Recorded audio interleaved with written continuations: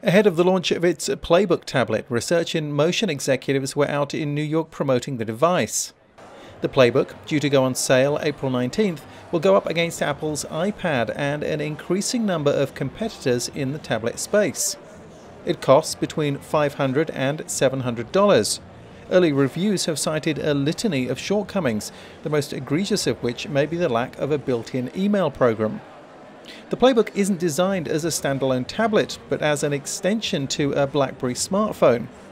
Through Wi Fi, it can access the web, but the true power of the device is seen when it's paired to a BlackBerry.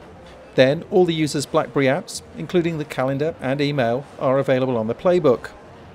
The device weighs about 450 grams, that's just under a pound, and it has a 7 inch screen. The display is roughly half the area of an iPad screen, but that's one of the main selling points for RIM's CEO. I just love its form factor. It's so light, I can put it in my pocket, I can, you know, I, I can have my briefcase. It's just, it's just the right size for me. I don't get tired carrying it. Um, the other one I like is that it gives me the real web just like my PC for me, that's really, really important because I'm not, I'm not tempted to go to my PC anymore.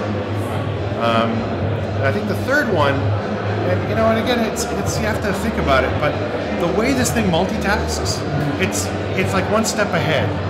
I can, I can do things as fast as I can think. And these are all BlackBerry qual qualities, right? So, what of the Playbook's chances? The tablet market is growing, and analysts say it should reach the point where multiple vendors can be successful.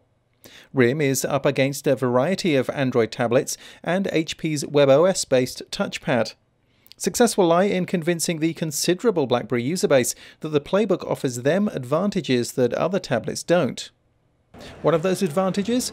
The Playbook uses the BlackBerry's cellular internet connection to get online, meaning an additional monthly subscription won't be required.